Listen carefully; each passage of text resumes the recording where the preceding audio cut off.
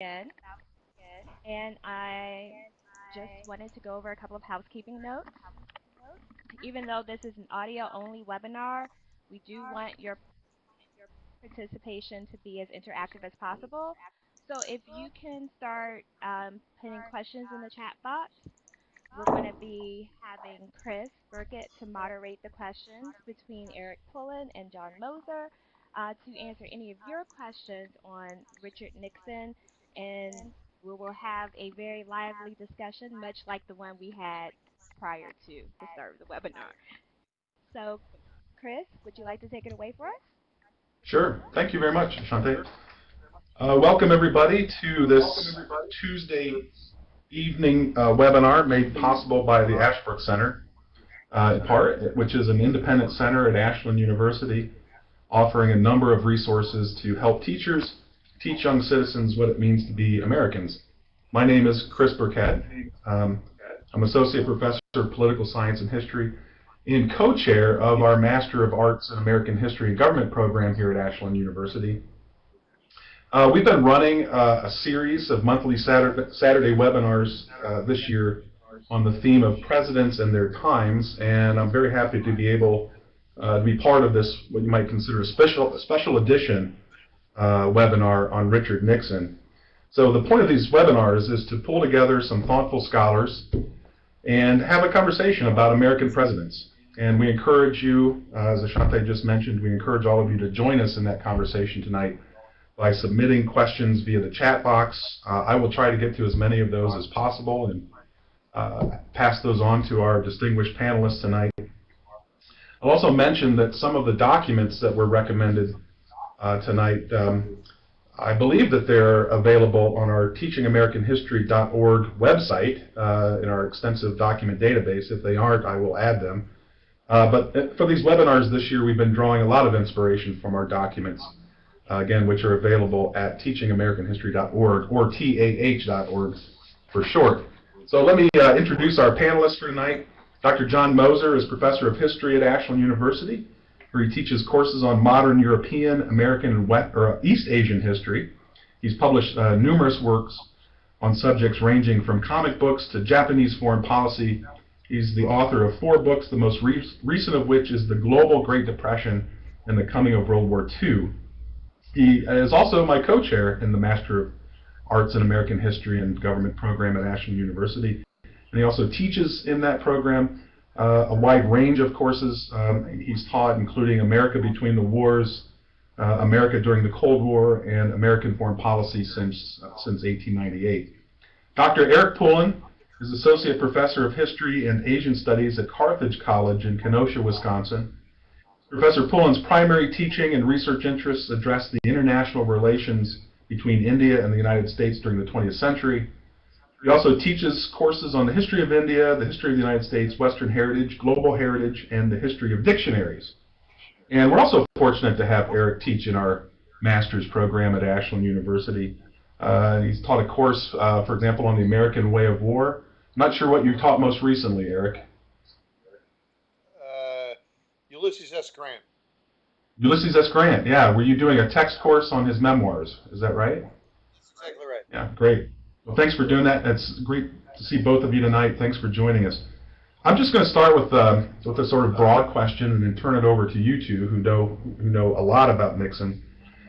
Um, most of us are familiar with Nixon's reputation as something of a dishonest politician, and of course his involvement in, in Watergate. But I'm hoping that tonight the two of you will teach us something about Nixon that we may not know. So let me just start with a broad question. What positive accomplishments uh, can we chalk up to Nixon's presidency?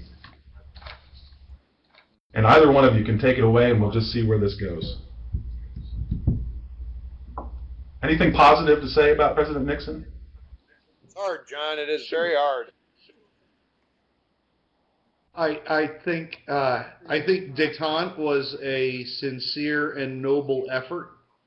I don't know in the long run that it accomplished uh, many of its objectives, but uh, I, I, think it was something that was uh, I think it was something that was worth pursuing. Um, it, you know, he he, uh, he brought about a stunning reversal in American foreign policy, certainly in uh, in terms of the country's relationship to the People's Republic of China, uh, and uh, and that opened the door to, to to, to closer relations with the Soviet Union. Again, I, these were these were tactical accomplishments. It's not clear to me that the strategic goals of of détente uh, were met, but I'm hoping that's something we can get to eventually.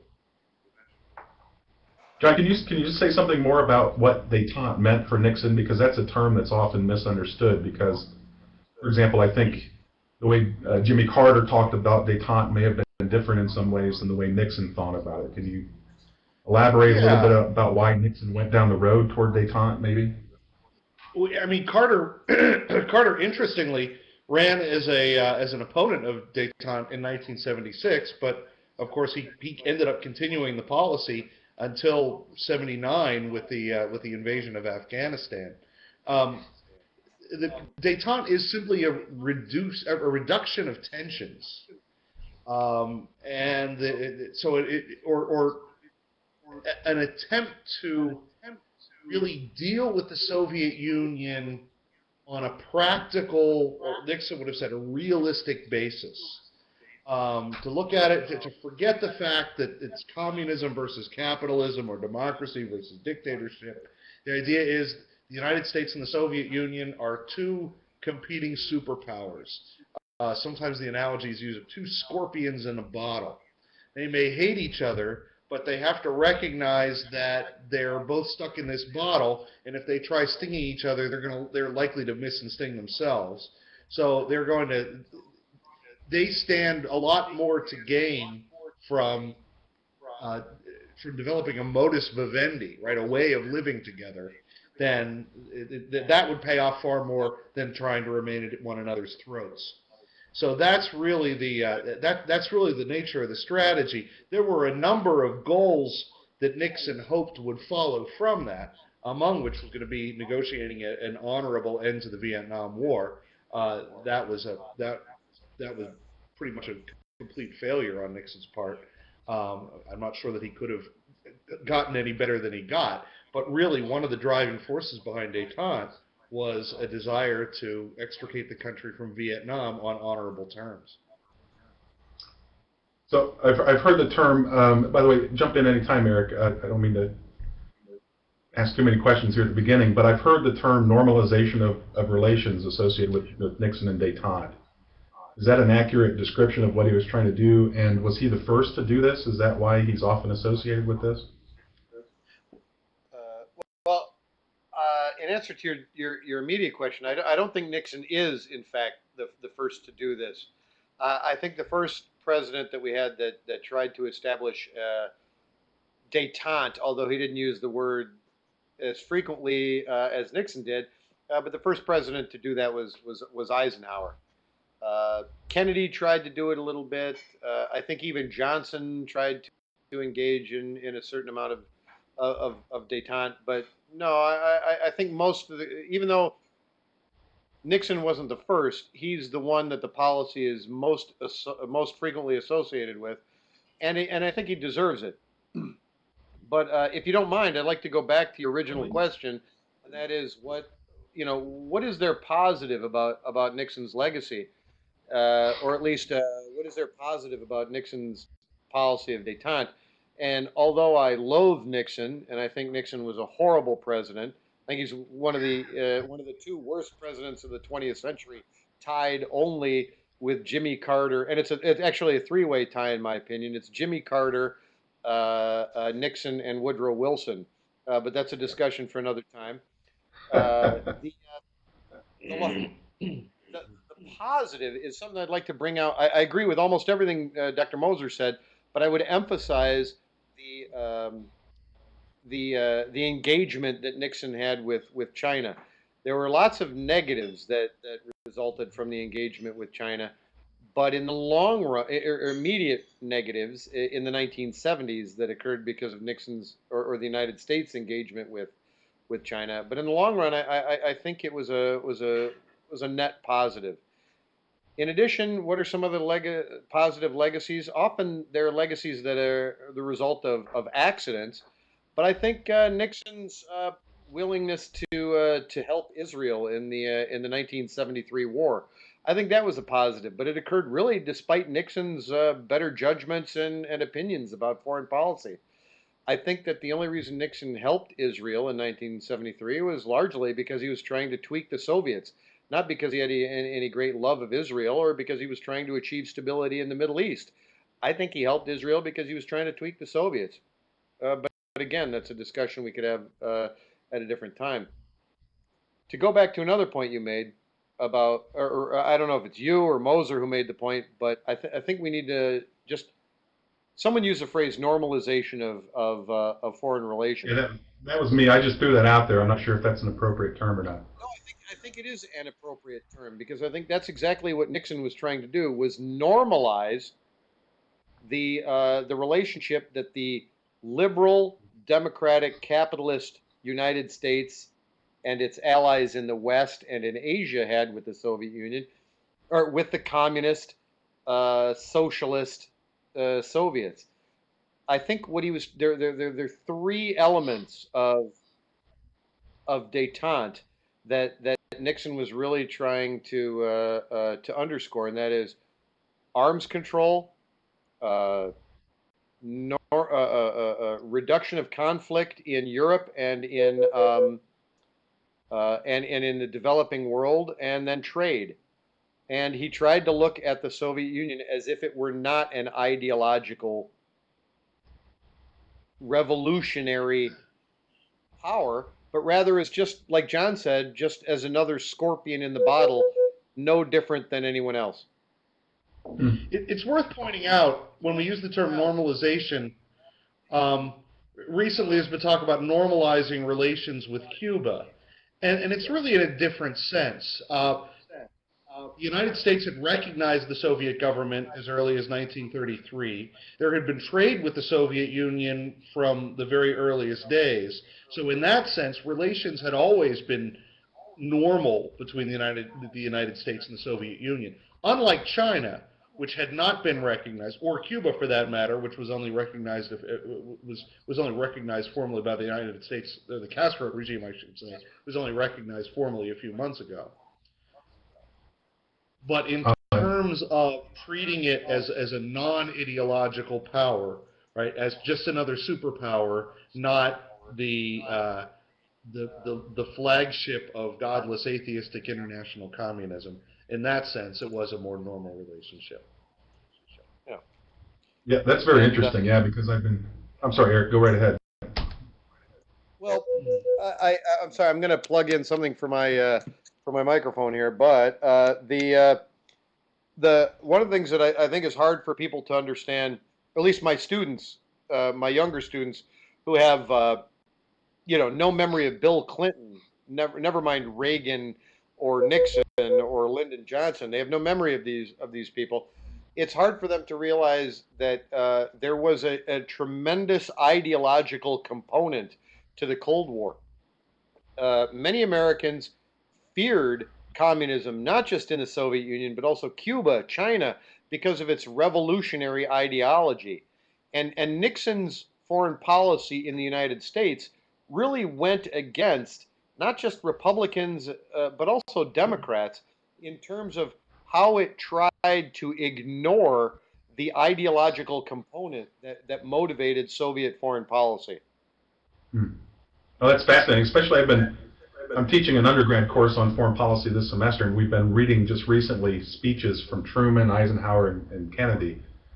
And now that you point this out, it's amazing how how much their the rhetoric of their speeches is directed against the ideology. I mean, they they frame almost all of their speeches uh, in the term in terms of this is a this is an ideological conflict, right? And one of my students pointed out that, um, at least in the case of Kennedy, it seems like he's working against his own purposes at times because he claims to be trying to establish some kind of relations with the Soviet Union, uh, better relations to try to work together to find out what they have in common. I know he met with he met with Khrushchev, right? I believe.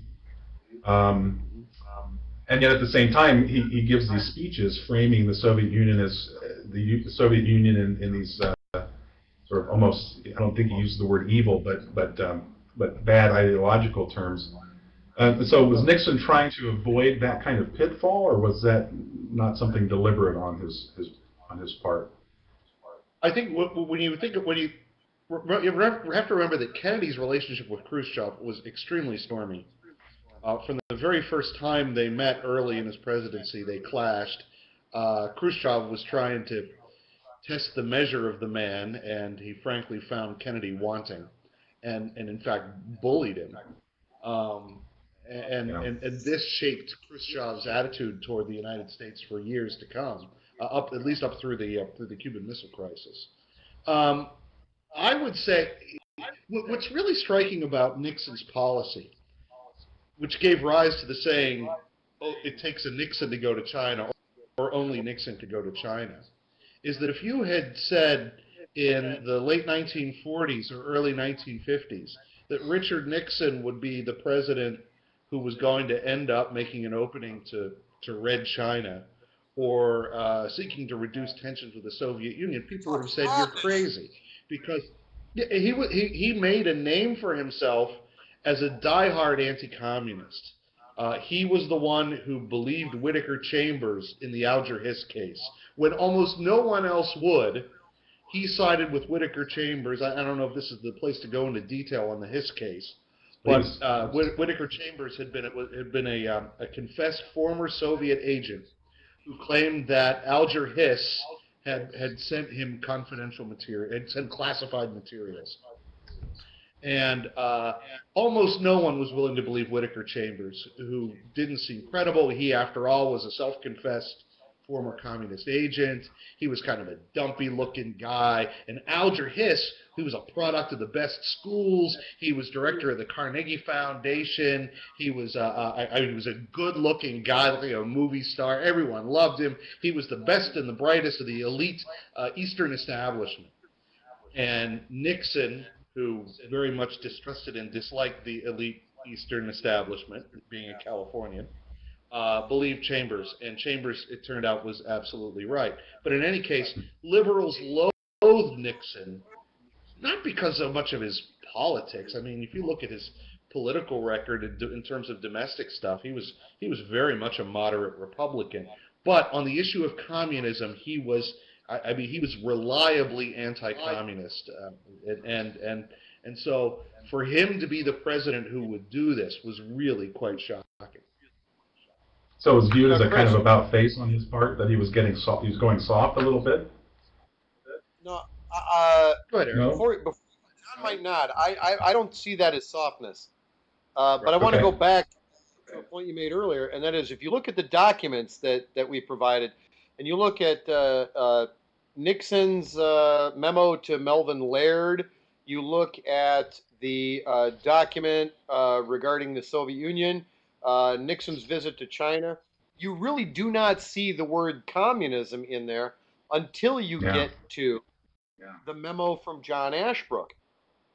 And before we talk about whether this is an about face or not uh, on Nixon's part, uh, you were making the point about, or someone was making the point about Nixon's attitude about about communism, and I think it's really important to understand that if you were to ask most Americans between the years 1948 and 1968, it's a 20 year period uh, that represents Nixon's tenure as a senator, Nixon's tenure as a vice president in the Eisenhower administration, his failed attempts uh, to run for the governorship in in uh, in California, and then his his, his his his career running as a as a politician.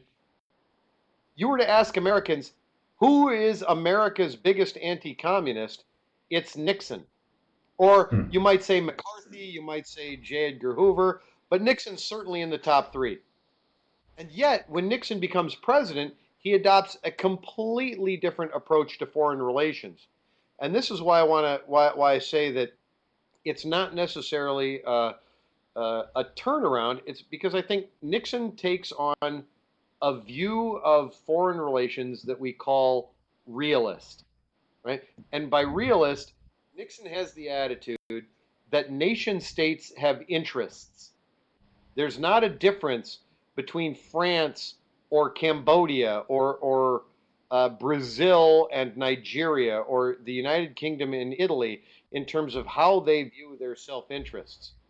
Ideology is, in, is, is really, in Nixon's view, a domestic issue. And so the reason why I argue that it's not necessarily a turnaround for Nixon is because he cares about communism not so much as an international issue, but he cares he cares about it because it's an American domestic issue. In the 1940s and 50s, he's obsessed, rightly, but he's obsessed with communism as as a form of espionage, as a form of sabotage or subversion in the United States. Once he mm-hmm. starts looking at communism as a as, as a global phenomenon or as an international issue, I think Nixon really is starting to say to himself, listen, the communists are no different than we are. They want to have a sphere of influence. They want to have a, a, a realm in which they're in control. Uh, at the end of the day, I don't think Nixon really hasn't had that much of a turnaround. I think he's basically he's got a very coherent. I disagree with it, but he's got a coherent theory of international relations that he applies like a template over uh, over um, basically over the planet. It, You might disagree it- that- I, I don't disagree with that. And adding to it is remembering this. You need to remember the circumstances of the late 1960s. Um,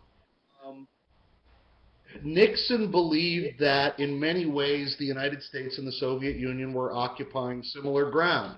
That uh, both were dealing with, uh, with with with popular protests right that was going on college campuses in the United States. But then there was Prague Spring in Czechoslovakia. Um, there was also an understanding on Nixon's part that the leadership of the Soviet Union was not the old revolutionary kind of of Stalin or even Khrushchev, but the the men, Brezhnev and the men who surrounded them, surrounded him, were rather a bunch of elderly men who were in fact quite conservative. I mean, not conservative in the American sense, but conservative in the sense that they weren't crazy about change. And, uh, and and Nixon, in a way, saw himself as that same kind of conservative, not ideologically conservative, but conservative in the sense of resisting change. So here we have these two superpowers who, despite their their their antipathy that had gone back to the uh, to the to the late 40s, in fact wanted the same kinds of things. They're being challenged by upstarts. The Russians are being challenged even within the communist bloc. So these are two superpowers, both with a with a mutual interest in in maintaining maintaining order. I'll, Oh, that's I'll interesting. if you don't mind, I, I- I'm going to interrupt you. I'm sorry, but the the Oh, idea of using your phrase of normalization, which I think is very apt, and then the idea of relaxation. Actually, that uh, I don't know if we said that before, but the term détente in French means relaxation.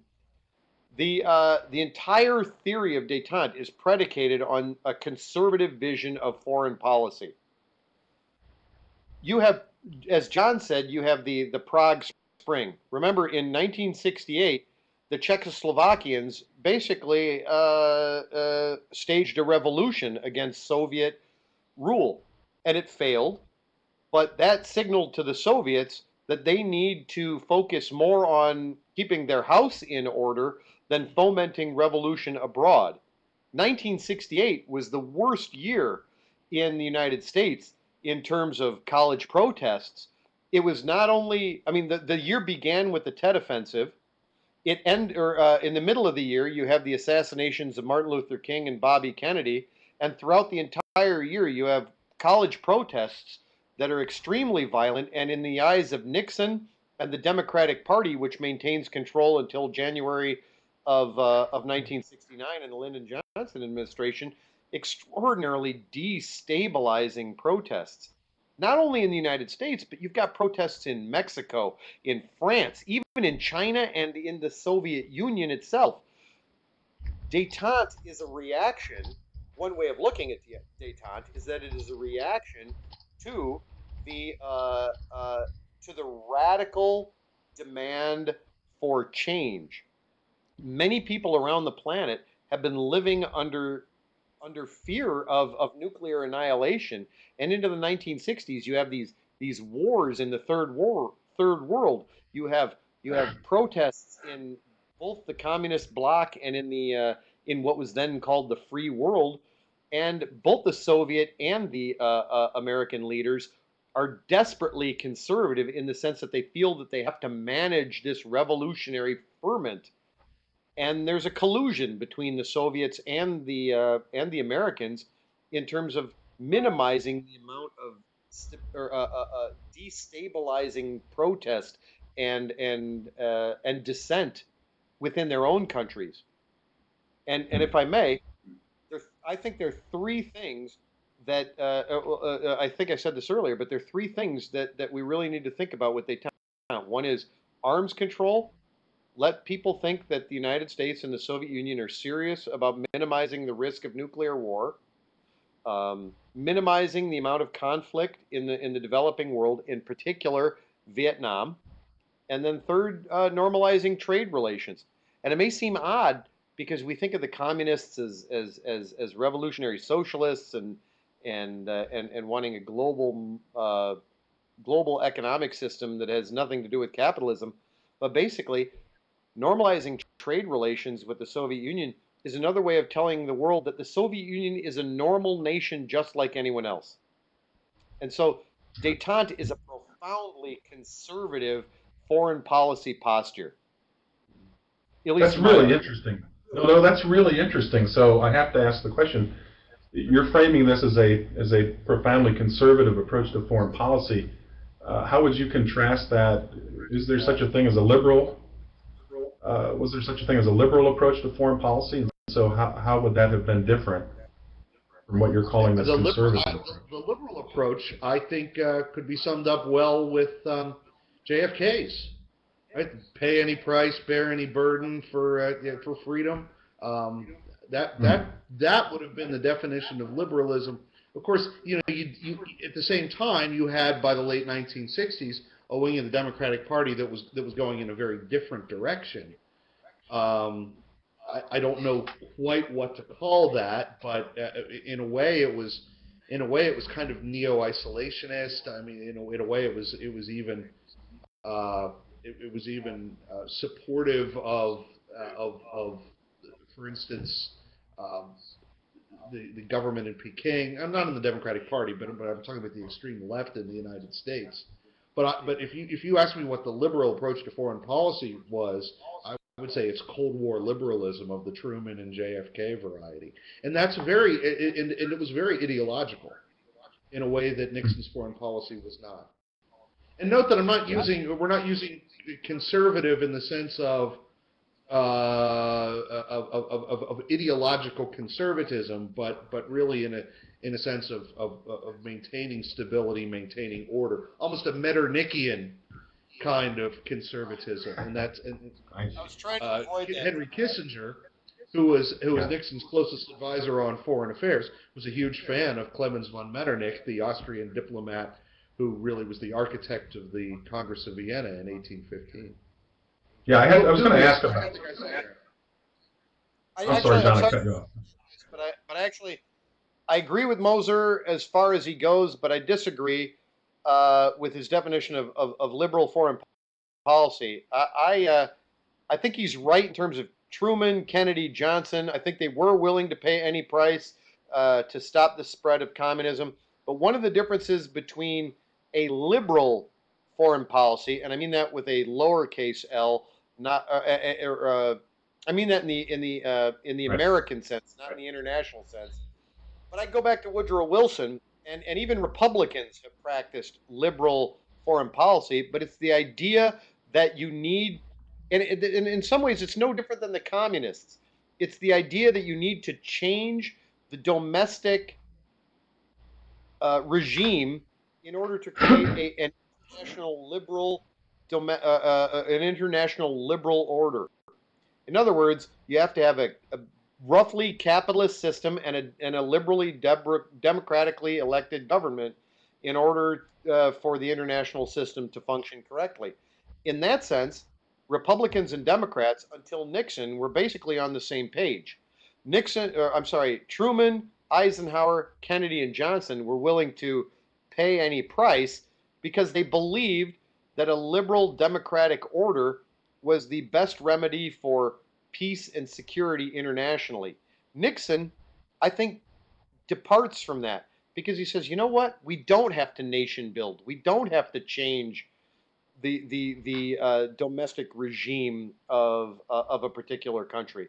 And in that sense, I disagree with Moser because I think that the uh, the liberal lowercase l liberal international order is one that's actually quite intrusive and one that does try to change the domestic order uh, in in this or that country, whether it's in Latin America, Africa, Asia, Europe, it doesn't matter.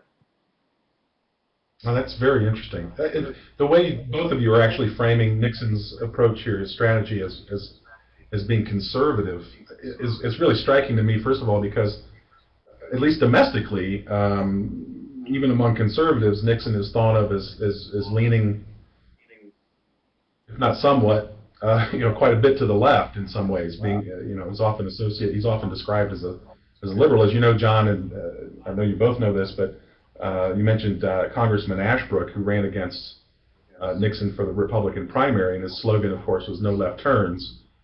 Um, trying to frame uh, Nixon, at least domestically, as being very liberal-minded in a certain way. But in foreign policy, I, I hadn't thought of him in these terms. It is a, it is a, in that sense, contrasted with that liberal approach to foreign policy, very conservative. I can see that very clearly. But since I mentioned Ashbrook again, and somebody brought this up earlier, um, one of you, I'm not sure which one, recommended uh, uh, Congressman Ashbrook's critique of détente, which is one of the documents uh, included in the uh, uh, uh, packet that's available for download here, which came in 1973. Can you say something about if if Nixon's approach was was so conservative, why did why was Ashbrook so opposed to it? Um, This is the this is the problem with slippery terms like conservative and liberal. Oh, Right. we're talking I'm over sorry, each other. Go ahead. Fred. But he's right. In other words, if, if, if, if Nixon was so conservative, why did conservatives oppose him? Yes, right. Because the reason why is why, John?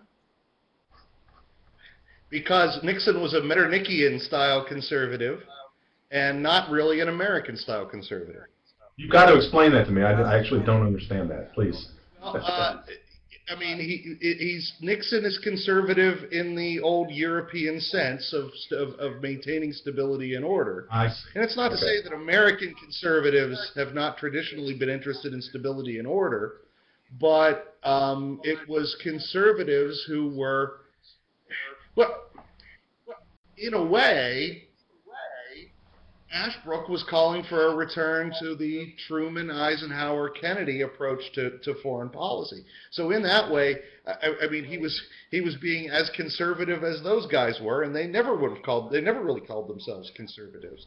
He's re-injecting ideology into the uh, into the into the Cold War again, and um, and and and I think he's doing that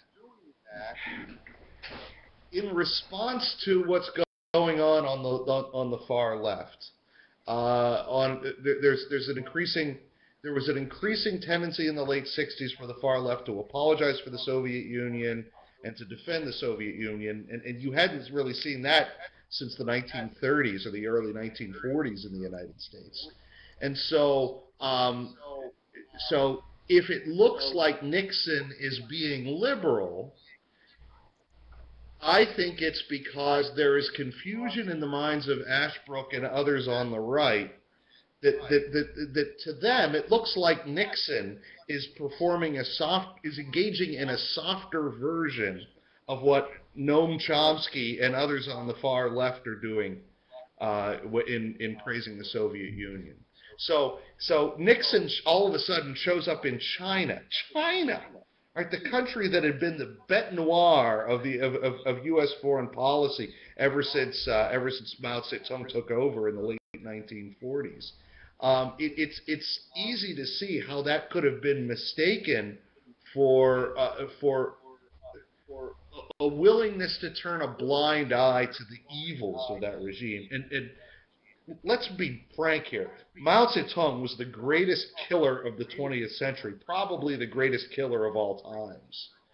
And uh, and and that's disturbing. I mean, even if we understand that Nixon's idea is, look, I don't have to like what they're doing over there.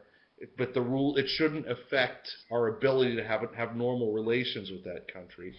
It, it you know it's still horrible. It's like if, if if you know that there's a murderer in your neighborhood, do you make do you still you know bake him cookies? It, it, uh, that's that's a terrible analogy, but I'm gonna let Eric jump It in is now. a terrible analogy, and, and I'm going to interrupt you, Moser. Uh, here, here's here's my take on this. It's like this: the reason why Nixon goes to China is to use China as a as a counterweight to the Soviet Union. The Exactly. difference- It's a means to an end. The difference between China and the Soviet Union in terms of killing is this, in Nixon's mind, not my mind or your mind, but Nixon's mind, and it's this: China kills its own people. The Soviets kill not only their own people, but other people as well. In other words, people in other countries. And if you're Nixon, who and, and this is why I think Nixon is one of the worst presidents of the 20th century, is because he is so cynical that he completely erases the ideological component away from anything communist. And he says, listen, Mao, fine. World's greatest mass murderer, big deal. He only kills his own people. He's not a threat to the international order. Whereas Yeah. the Soviets, they are, not just in Europe, but also in Africa. And the thing that makes Nixon so repugnant to me is that he is so amoral in terms of how he looks at the international order that he's willing to deal with someone who is so one ideological and two murderous, i.e., Mao.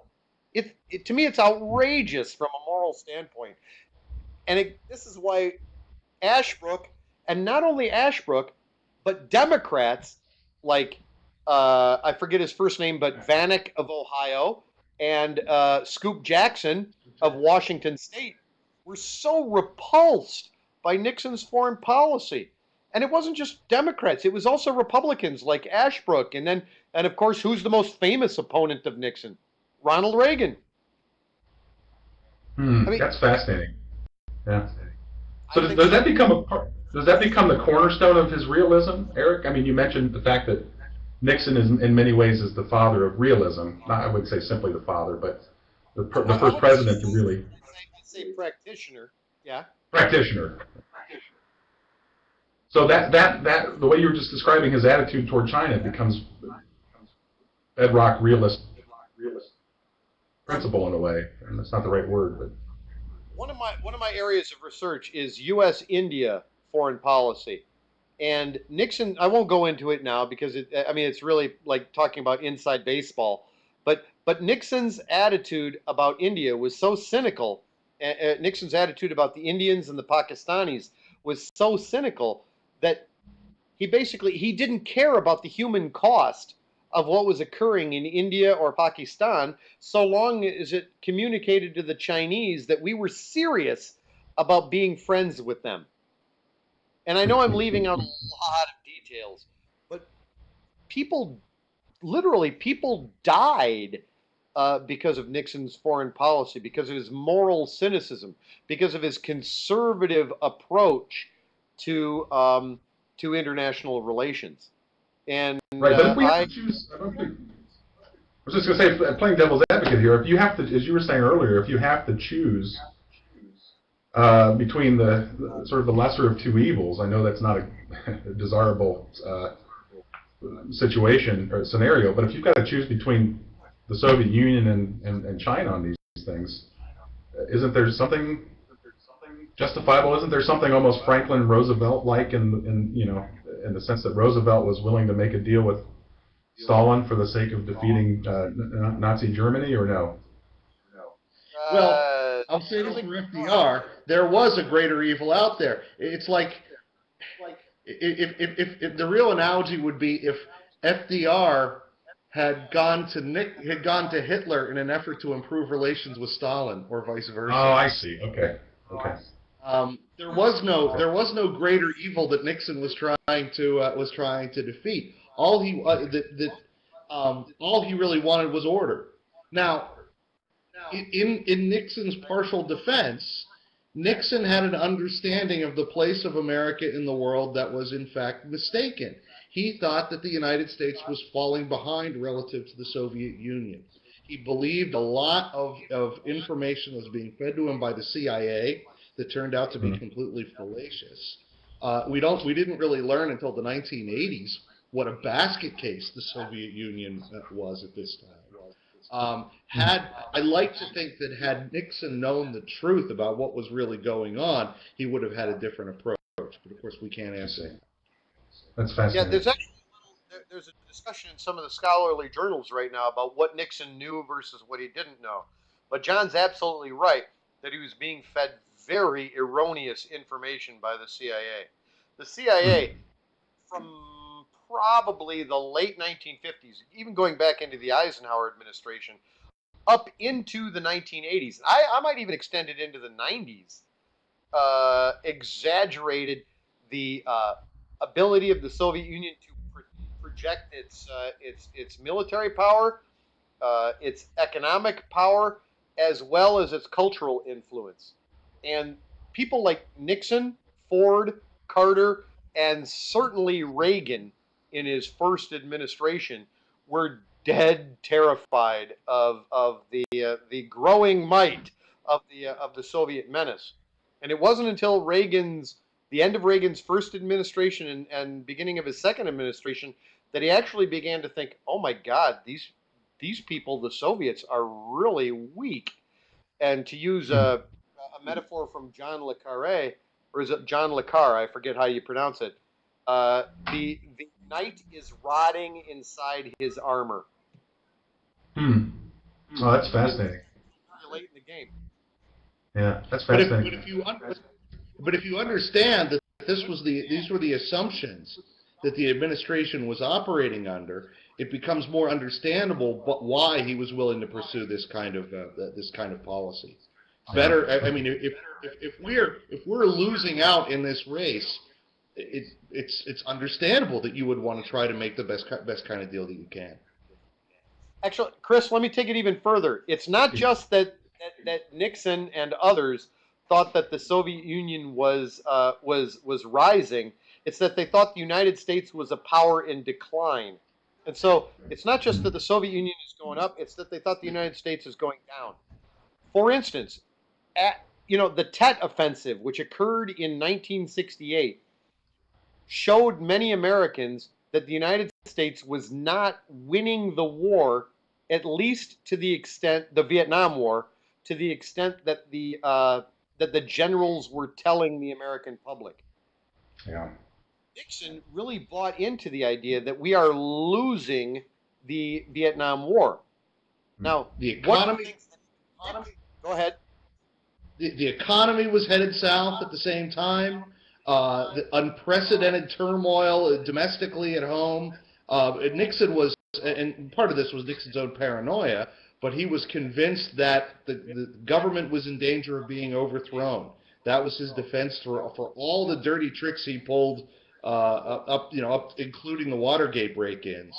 Was that this is a this is a time of crisis unlike any that's been seen since Nixon. So he always he always liked to cite Nixon, and to a certain extent FDR. This is a time of such grave national crisis that he's justified in doing things that ordinarily would be regarded as as, as unconstitutional. That's fantastic. We go ahead, Eric. I'm sorry. I No, no. go even further. And uh, what I would say about about Nixon is that the uh, the Vietnam War, Nixon seemed to forget. We need to take a step back and look at why the United States could not wage total war in Korea or Vietnam the way it could, say, in World War II or World War One. And the reason is nuclear weapons. Remember, one of the cornerstones of detente is arms control. In Vietnam, there is absolutely no doubt in my mind that the United States possessed the mili- military capability of wiping out Ho Chi Minh, Giap, and the uh, and, and the, the the North Vietnamese Army, the NVA. We had that ability, but what would have happened had we done so? Had we done so, had we had the United States in the 1960s and 1970s done so, it would have drawn either the Soviet Union, the Chinese, or both into uh, a larger conflict, and that and that conventional conflict almost certainly would have escalated into a nuclear conflict.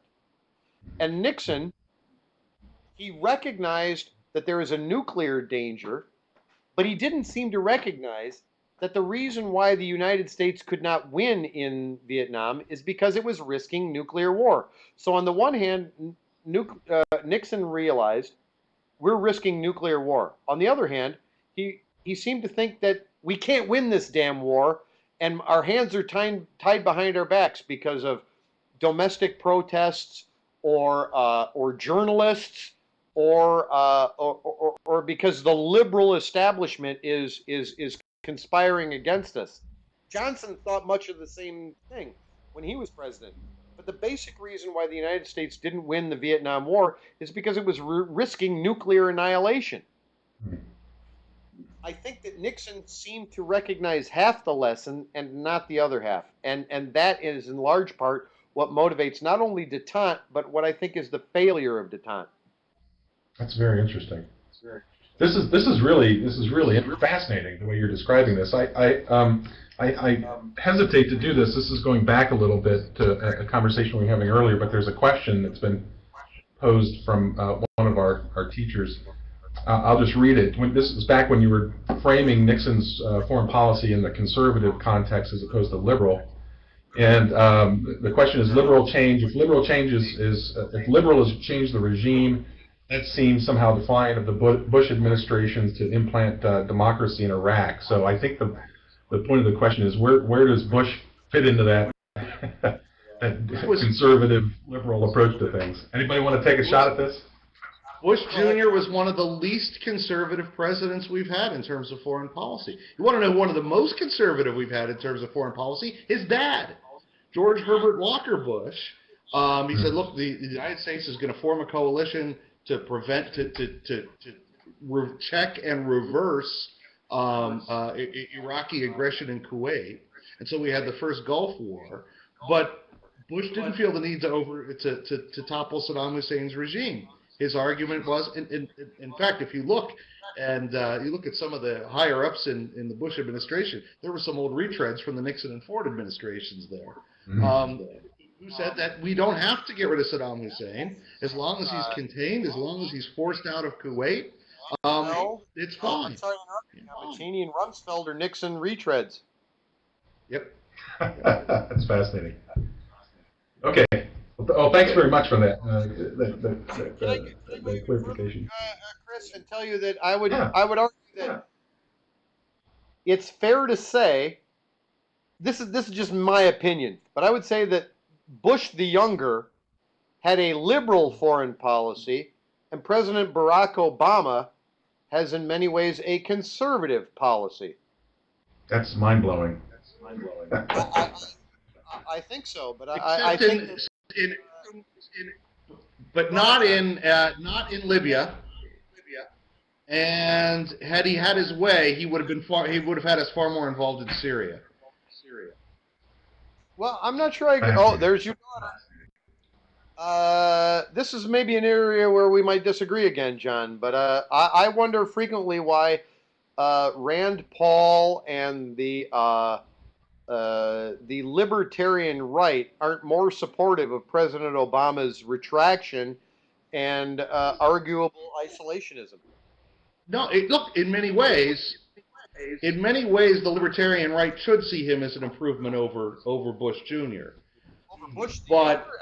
But yeah, uh, absolutely. But if you look at in- the intervention in Libya, the intervention that he wanted, what but was prevented from having in Syria, um, I, I think he, I think Obama wanted to be, and certainly under the influence of Hillary Clinton, he wanted to be a more interventionist president than he was. Uh, Hillary Clinton is a different issue, and I'm I don't want to uh, again I don't want to I don't want to turn this into a uh, an evening of Fox News or MSNBC, but uh, you're wrong, man. You're dead wrong about this nonsense. Well, this is why I asked the question. I, I, I knew that would get a reaction from both of you on this. uh, That, that I've I've seen you guys together so many times. I, I, I just love that. That was great. Uh, we have about we only have about Grad school, these people should know. Understand this.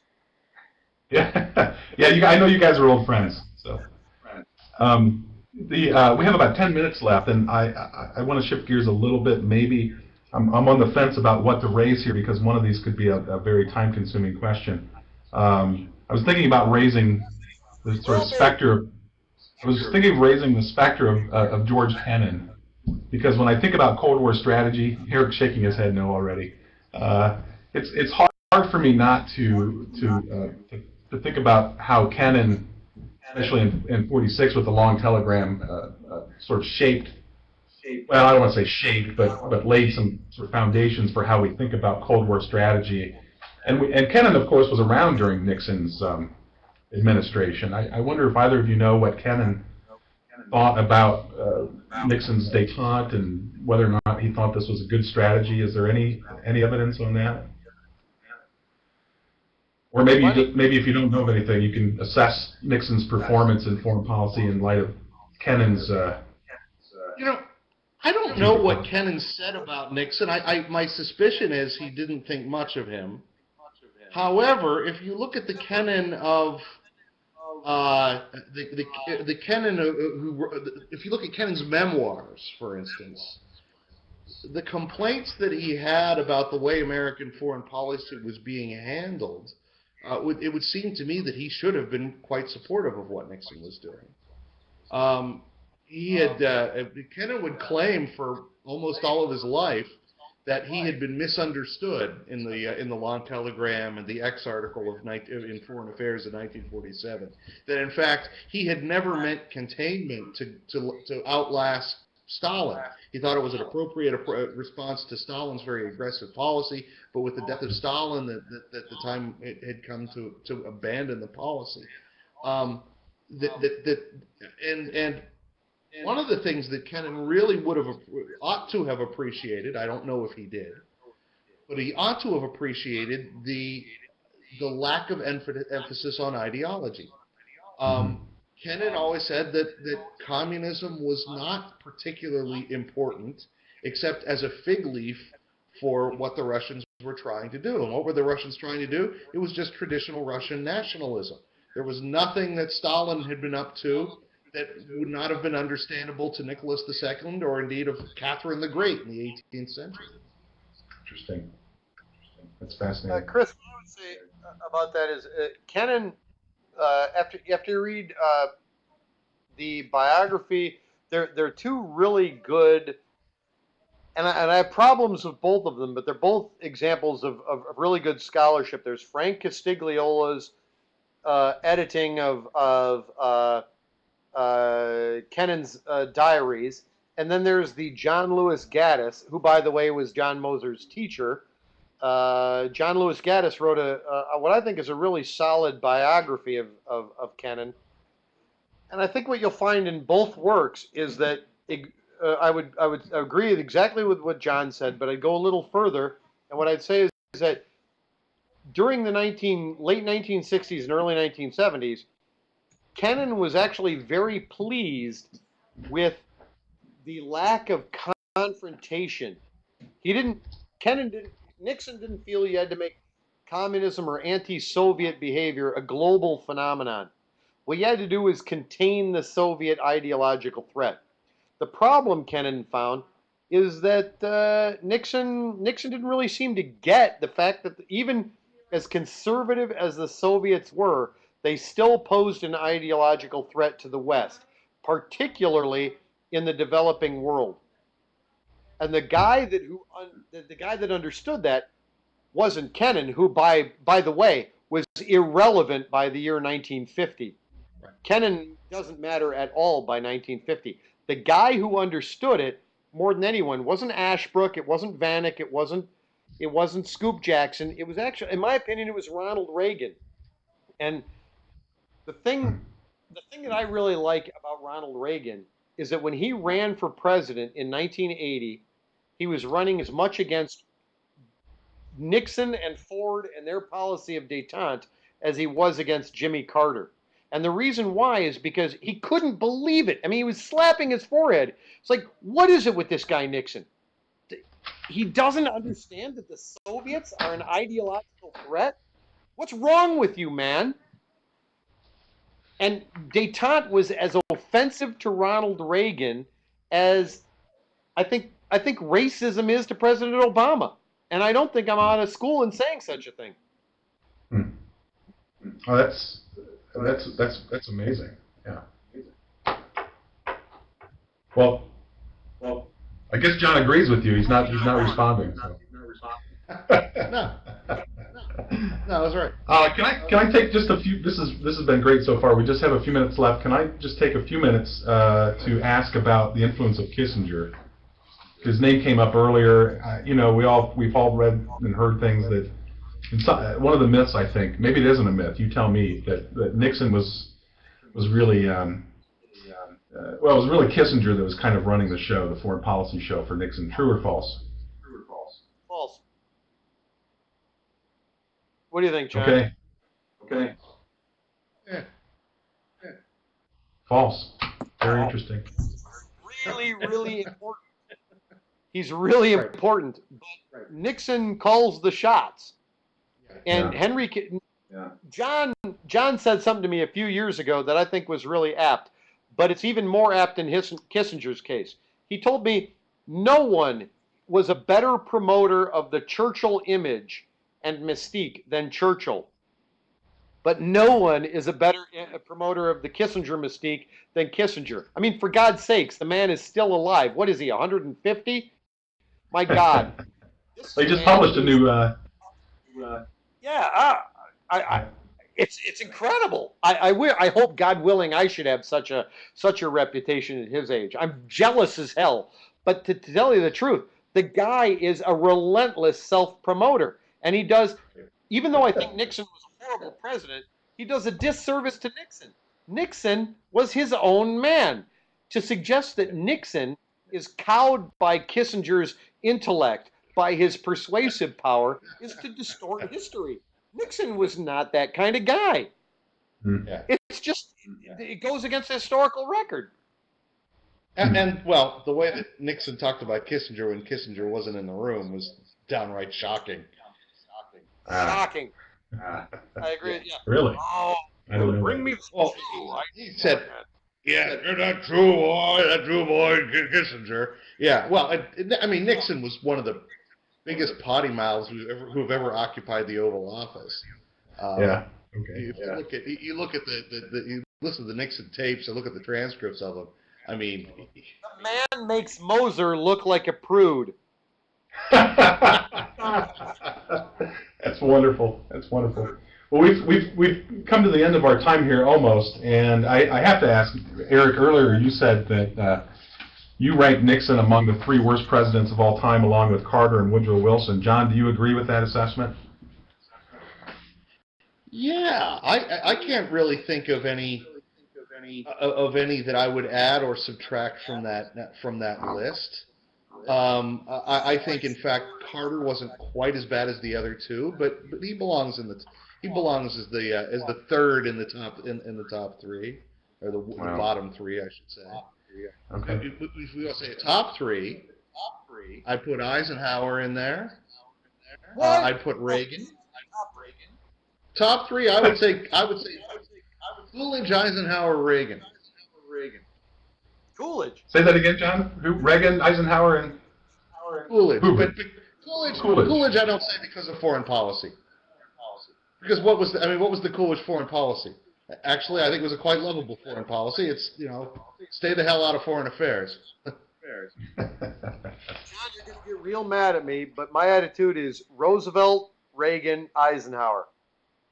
And Uh, I don't, I don't, I don't, I don't hate And the reason- Roosevelt, but I would put him in the top three. I'll tell you why. I think during the 30s, the man was a whore and an, appease, uh, an appeaser. But during the Second World War, his World War II leadership is absolute, not absolutely, it's mostly unassailable. I, I think he's a magnificent wartime president. I think he's horrible on the New Deal, and I think he's horrible as a domestic president. There are all sorts of areas we can criticism criticize him, but my God, his his coalition management was magnificent. Yeah, Yeah, I- he had a good sense of who should be at the top. This thing is recorded, and you know I'm I, I wouldn't say that lightly. Uh, well, I guess. Uh, well, by the way, ladies and gentlemen, this is what you. This is what I expect when these two get together, whether it's uh, over beers or in the classroom. Um, so we're going to have to end it with that. But I, I thank you both very much. I have to say I'm a little disappointed because I thought maybe I'd come away from this uh, having learned some positive things about uh, uh, Nixon's presidency. Not that I didn't learn anything. I learned a lot. I'm not disappointed in how much I learned, but. Uh, I thank you both very much for your time and your insights. This has been very, very, uh, very enlightening and, and useful. And, and let me just mention, if, uh, if, uh, yeah, thanks again uh, to both of you. If, any, if anyone's interested in seeing these two in action in person, uh, maybe you'd be interested in looking into a, either an online or on-campus course uh, as part of our Master of American, uh, Master of Arts in American History and Government program at Ashland University. Again, you can find out more about that by looking at teachingamericanhistory.org online. Um, um, and if you enjoyed these kinds of conversations in, in the webinar format, uh, please feel free to join us for our uh, next Saturday webinar, which is on Abraham Lincoln, the great emancipator. That's on December 12th at 11 a.m. Eastern Time. And we'll be joined then with uh, by Lucas Morel of Washington and Lee University and Jonathan White of Christopher Newport University. So if you're if you're so inclined, please feel free to join us. Again, you can find out more information on tah.org or teachingamericanhistory.org. Gentlemen, again, thank you very much. I've, I've learned a great deal. E- Enjoyed it very much. Very much. Thanks, all of you. Yes, and thanks for the participants who joined us.